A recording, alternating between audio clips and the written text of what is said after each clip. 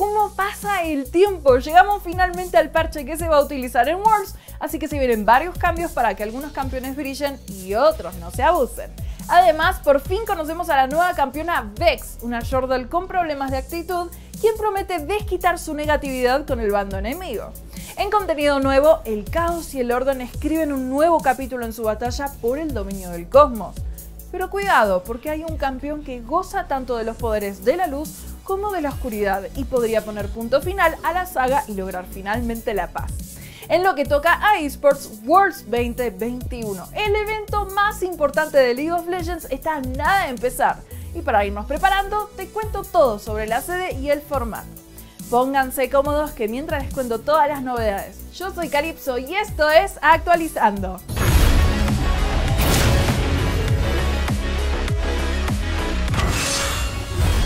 Que sean acalifóbicos, tápense los ojos y pongan mute porque recibe un fortalecimiento de este parche. Debido a su dificultad para sobrevivir en etapa de líneas, aumenta la regeneración de vida base y la tasa de crecimiento de regeneración de vida. No hay duda que una de las mejores armas que tiene Galio es poder provocar rivales con su W y darle tiempo a su equipo de borrarlos. Aunque es una pieza clave para iniciar peleas, el enfriamiento de su habilidad es tan largo que tiene que ser muy estratégico para usarla en el tiempo correcto. Con esta versión se reduce el enfriamiento de la W para que Galio pueda lucirse un poco más seguido. Cho'Gath es un tanque casi imbajable, pero, dejando eso de lado, le cuesta mucho aportar al equipo. Para que pueda funcionar mejor durante la partida en general, se reduce el enfriamiento de su Q. Y hablando de imbajables, Mordekaiser es el rey absoluto cuando se trata de peleas uno contra uno. Sin embargo, actualmente su kit de habilidades no le es suficiente para este tipo de situaciones. Para ayudarle un poco, se reduce el enfriamiento de su E para que ahora sí nadie pueda huir de él. Quizás notaron últimamente que Poppy es tremenda en peleas en equipo. Aguanta lo que sea y si algún rival se pone molesto, simplemente lo manda a volar. Sin embargo, el punto débil de esta Jordal es durante la fase de líneas, ya que carece de herramientas para hostigar a sus rivales.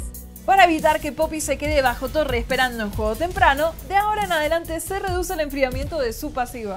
Al equipo de balance se le pasó un poquito la mano con las debilitaciones a Renekton, y con todos los fortalecimientos a los asesinos, alguien tiene que ponerles un alto.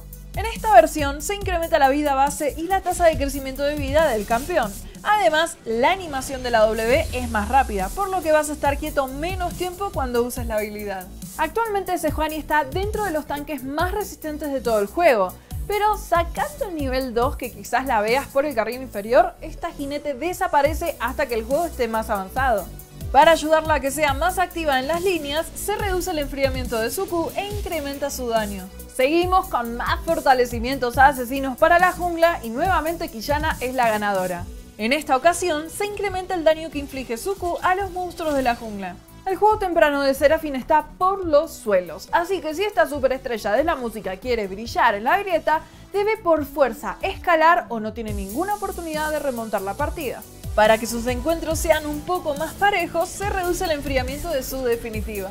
Gwen estaba imparable hace algunos parches, pero las debilitaciones anteriores le quitaron muchísimo filo a sus tijeras, o por lo menos en el juego temprano.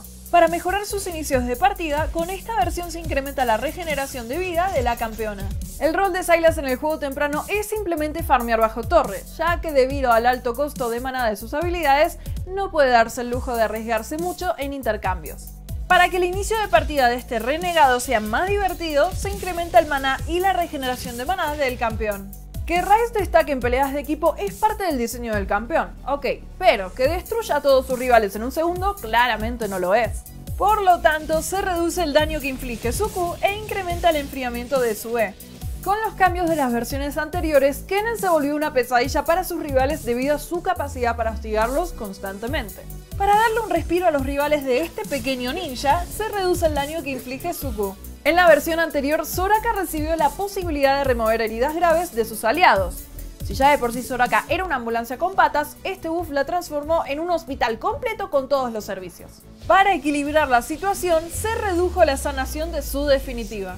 Varus armado con letalidad derrite campeones. Con una Q que logre pegar a sus rivales, seguramente lo fuerza a regresar a base y todo sin arriesgar mucho gracias a su rango. Para que este tirador tenga que arriesgarse más para infligir daño, con esta versión se incrementa el enfriamiento de su Q. Las mejoras que recibió Fizz la versión pasada lo dejaron por mucho como el mejor asesino del meta. Para que este Shortle anfibio no tenga tanta ventaja frente a sus rivales, su W inflige menos daño y su pasiva ya no reduce el daño de los ataques básicos recibidos. Pero, para no dejarlo tan atrás, su E tiene menor enfriamiento y su definitiva inflige más daño. Vex es la sombría Shortle que nos puso a sufrir durante la guerra con Diego y su actitud ante la vida es tan oscura que hace ver a Mumu como el alma de la fiesta.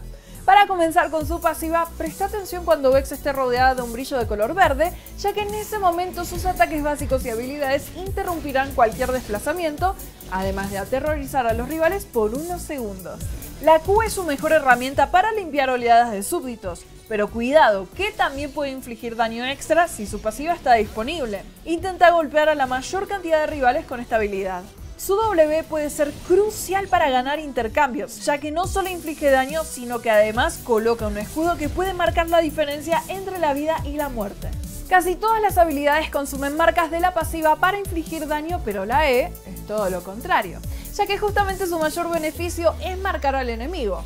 Úsala de manera estratégica para maximizar tu daño. Con su definitiva, Vex lanza un proyectil y marca a su rival, para luego poder reactivar la habilidad y teletransportarse a él, similar a Kaisa. Si el enemigo muere segundos después de haber sido dañado por esta habilidad, Vex podrá utilizarla de nuevo, lo que idealmente podría provocar una cadena de asesinatos. Objetos como Tempestad de Luden y Sonia te darán el balance perfecto de daño y aguante para derribar rivales sin quedar mal parado.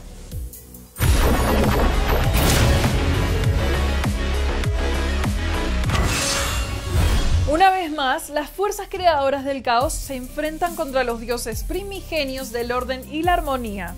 Nacida de las pesadillas del cosmos, Lilia es una criatura de extrañas motivaciones, enamorada de la vida, pero también de su naturaleza destructora. La cervatilla deambula por el universo atraída por la vida que irremediablemente termina destruyendo con su báculo de fuego. Cada golpe de Lilia es una repentina explosión de calor que luego se marchita y muere. Con su habilidad definitiva, Lilia puede sumir a sus contrincantes en un profundo sueño lleno de imágenes caóticas, fuegos espectrales y pequeñas mariposas que los guían hacia el más allá.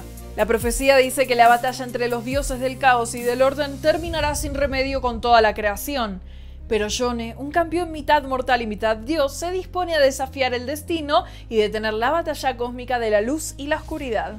Una de sus espadas brilla con una mortal luz fría, mientras que la otra refulge como una brasa encendida. Los golpes combinados de ambas son tan poderosos que pueden derrotar tanto a dioses del orden como del caos, acercando a Yone un paso más a su meta de lograr la paz. Yone usará el poder del caos y el orden contra los propios dioses. No existen términos medios en la misión de este campeón. Si no logra traer equilibrio al universo, Yone perecerá en el intento. Trindamer es un antiguo dios de la guerra que espera, hambriento, el momento correcto para intervenir y saciar su sed de sangre y muerte. Con paciencia, sigue las acciones de Yone con la certeza de que el caos es mejor cuando nace de la decadencia del orden.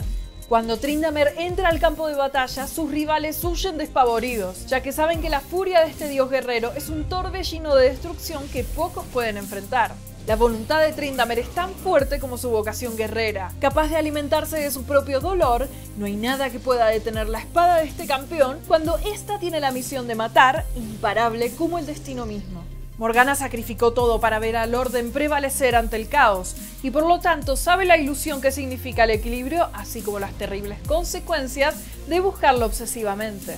Esta campeona del amanecer confía en el poder de la luz para detener a los esbirros del caos y acabar con la oscuridad, convencida de que el triunfo del orden salvará la destrucción del universo. Cuando la batalla llega a su punto más intenso, Morgana muestra sus deslumbrantes alas y extiende cadenas de luz que aprisionan y hacen arder a los enemigos, derrotándolos mientras ella brilla como la cálida luz del amanecer. Para sorpresa de todos, Vex forma parte de las filas portadoras del amanecer, Claro, que no por sus intenciones de ayudar a los demás, sino porque necesita la luz para proyectar su sombra.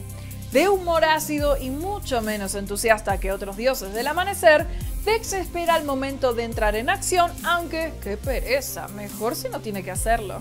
Los portadores del anochecer suelen ser demasiado activos con esa obsesión que tienen con el caos, y eso desespera tanto a Vex que se ve en la terrible necesidad de usar su sombra para acabar con ellos.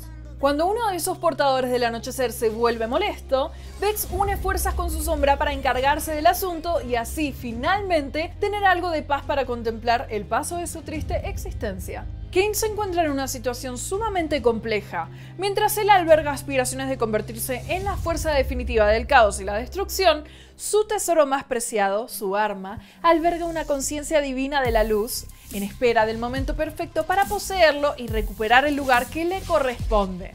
Al momento de la batalla, ¿cuál será la fuerza que logra apoderarse de Kane? Cada acción de Kane lo acerca o lo aleja hacia alguno de los bandos, ya sea acechar desde las sombras para matar al enemigo sin que éste siquiera se dé cuenta de que lo golpeó, o bien plantar cara en batalla, enfrentando con honor a rivales que lo superan en fuerza. Si el caos gana la batalla dentro de Kane, el asesino imparable tomará el control, destinado a extinguir todo a su alrededor. Si al contrario, la luz gana la batalla, Kane crecerá imponente para restablecer el orden del universo. El conflicto entre Kane y Rust, el espíritu que vive en su arma, ha escalado a niveles divinos, rodeándolos de una energía dorada digna de fuerzas cósmicas. En su forma asesina, el filo en el arma de Kane resplandece mientras corta la vida de sus enemigos, justo antes de desaparecer entre las sombras y la luz celestial de su nuevo poder. Cuando la voluntad de Kane se desvanece y solo queda Raz, el campeón luce una armadura dorada con vivos azules, que denotan su preferencia por el amanecer. Libre al fin, Raz desatará su furia contra los seguidores del anochecer, terminando el conflicto entre el caos y el orden de una vez por todas.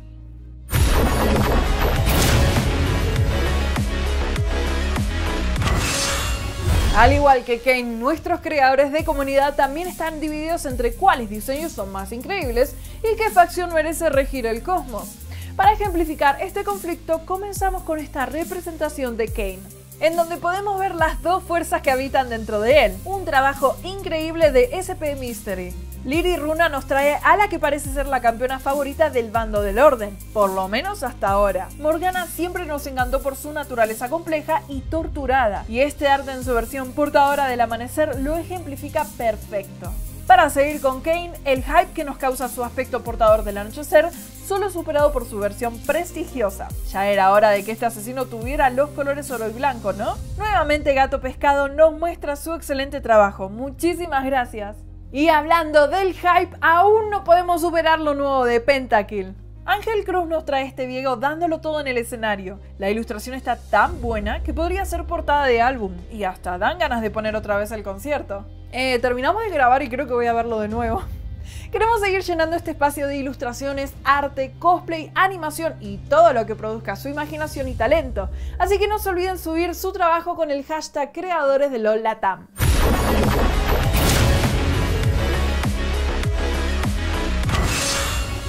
Toda la alegría del mundo, finalmente les cuento que tenemos la fecha de inicio de Worlds. A partir del 5 de octubre, Islandia se convertirá en el epicentro de los deportes electrónicos con el evento más importante y emocionante de todo el año. Los mejores equipos de cada región van a darlo todo para cumplir el sueño de levantar la Copa del Invocador y coronarse como los mejores del mundo. Y por supuesto, Latinoamérica estará representada por Infinity Esports, que van con la tarea de hacer historia para nuestra región. El torneo está estructurado en tres fases, siendo la primera play-ins. Acá comienza el trayecto de nuestro campeón, quien deberá buscar su pase a la fase de grupos junto a los primeros lugares de Brasil, Japón, Oceanía y Turquía, así como equipos de Norteamérica, China y Corea. Los cuatro equipos que sobrevivan los play-ins se verán las caras contra 12 nuevas escuadras entre las que están los tres primeros lugares de Corea, China y Europa, así como los dos mejores equipos de Norteamérica y el campeón del sudeste asiático. Todos estos equipos se dividirán en cuatro grupos, de los cuales solo dos equipos de cada grupo pasarán a la siguiente fase. Durante las eliminatorias, los equipos competirán al mejor de cinco para avanzar a cuartos, semis y la gran final, donde saldrá el equipo campeón de Worlds 2021. Si quieren más información del formato, les dejo un enlace en la descripción del video y recuerden que todos los detalles de la transmisión, así como los horarios, los pueden encontrar en lolisports.com.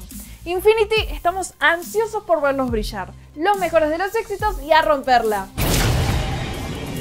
Bueno, terminamos otro episodio y siendo honesta, estoy súper emotiva porque ya llega Worlds. Presten atención a todas las partidas porque seguro pueden descubrir un campeón muy fuerte para sus clasificatorias. Dejen en los comentarios cómo les va con Vex y si están logrando extender su sombra por toda la grieta. Les mando un abrazo enorme a la distancia y nos vemos la próxima. Yo soy Calypso y esto fue Actualizando.